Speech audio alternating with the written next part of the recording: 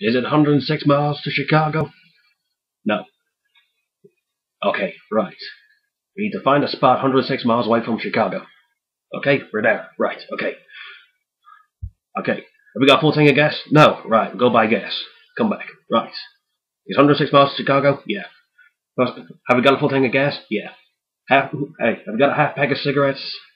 No. Right, go by the gas station, buy some, no, I say, buy, buy a pack of cigarettes and smoke half. Okay. Right, here we go again. Is 106 miles 106 miles to Chicago? Yeah. Have we got a full tank of gas? Yeah. Have we got a half pack of cigarettes? Yeah. Is it dark? No. Okay, right. We got right. Come back at midnight. Uh, I'll, uh, I'll say we'll start all this up again. Okay. Is it midnight? Yeah.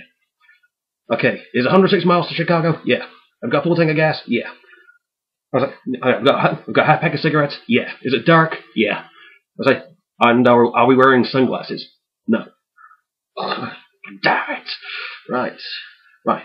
Go back to the gas station, buy sunglasses, and get more cigarettes. Right. Okay. Right. Okay, here we go again. Is it 106 miles to Chicago? Yeah. Have we got full? I've got full tank of gas. Yeah. Is it? Have we got half pack of cigarettes? Yeah. Is it dark? Yeah.